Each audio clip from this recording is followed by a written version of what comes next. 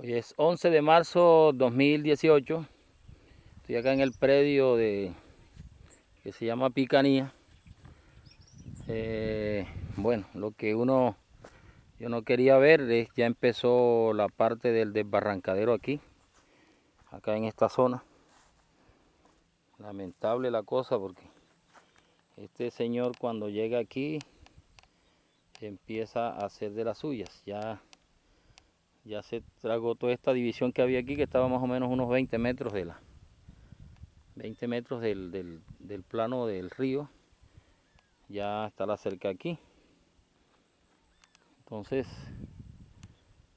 ojalá pues nos dé la opción de el río Magdalena de, de que no se vaya a llevar toda esta tierra. Aquí está toda esta ranura que está aquí. Lo más probable es que todo este pedazo que está aquí, que es cobija la cerca, se vaya.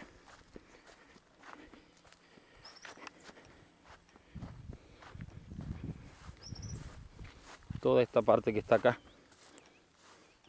Se mandó a, a fumigar.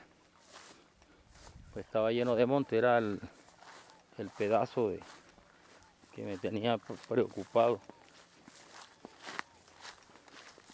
Mandó a fumigar para,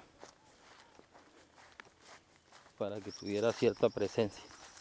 Aquí se tragó, aquí había una ceiba. Aquí está. La cosa es seria. Mire. Este es Barranco. es el glorioso y majestuoso río grande de la Magdalena. Ese es el ferry de acá de que nos traslada de acá de Bolívar al Magdalena. De este lado de las brisas, del otro lado el municipio de Santa Bárbara de Pinto. Esta isla salió aquí, esta isla. Y el agua que nos golpea sale de por aquí. Entonces nos cae de frente acá. Y ya podrán entender las consecuencias que eso genera acá de este lado. Bueno, esa es la naturaleza. Hay que respetar sus designios. Porque acá de este sector no hay la posibilidad de apoyo gubernamental para esta situación. Realmente no, no lo hay.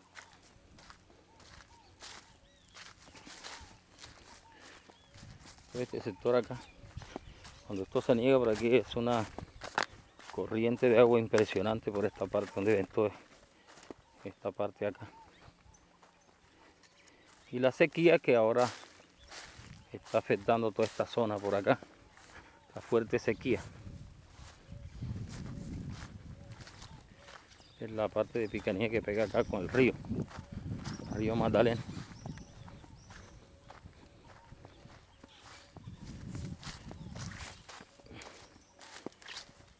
Bueno, ya está visible y se puede transitar con, con mayor tranquilidad, pero dos meses atrás esto estaba imposible aquí. tenía mucho monte y mucha mucha zarza sobre todo. Ya está transitable.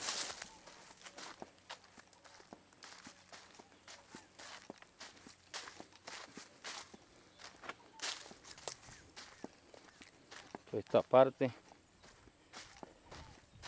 bueno ya quedó ya están todos los cerca de, de como decimos nosotros acá en nuestra tierra cerca que se van construyendo con, el pasar de los años.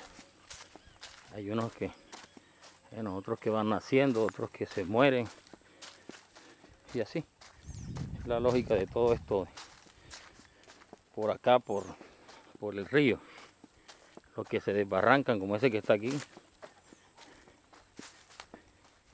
Bueno, y ellos mismos echando ahí la, la cría para sembrar y que la cerca vaya tomando otra vez la forma, esa sombra bonita que mantiene el juego sobre las cercas estas por acá.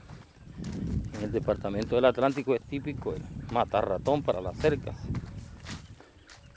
Acá más que todo en Bolívar, en estas zonas por acá, está el jobo. Es el, que engalana toda la, la cerca. Aquí, toda esta zona se mandó a, a trabajar y a limpiar. Y bueno, la fortuna que todo este trabajo que hizo Eder quedó muy bueno y los, y los nacederos todos están, están pegaditos hasta aquí. Toda esta parte de aquí para allá. Toda esta parte de aquí para allá se mandó a arreglar. Y bueno, esta es la división aquí donde está el caño que ya está seco. Y toda esta parte pues es la que se mandó a arreglar últimamente que pega aquí con compadres en nariz. Todo esto, está el verano. El rigor del verano se mandó a arreglar, la arregló Néstor, el trabajador. Arregló todo este lado. Aquel lado pertenece a la señora, la señora Maribel, es la responsable del control de esa cerca, de este lado acá. Hay unas partes aquí, por ejemplo, ahí falta como que unos nacederos los nacederos que quedan acá se pegan, pero cuando llega la creciente otra vez, terminan muriéndose. El agua al jobo lo afecta, lo afecta bastante, sobre todo este cuando le cae bastante ciénego y bastante fango se lo lleva. Esta parte acá toda así está limpia, este es el, el lumillo. La parte alta y entonces de aquí para allá todo está limpio. Esto aquí sí está ya está limpio, está bien. Todo este sector acá. Está bien limpio como pueden ver aquí. Y aquí es cuestión de controlar la cerca, estar pendiente y listo, que lo demás está bien. Era la parte la que tenemos enmontada ahí, que bueno ya, afortunadamente ya salió, ya, la, ya corregimos eso ahí. Bueno.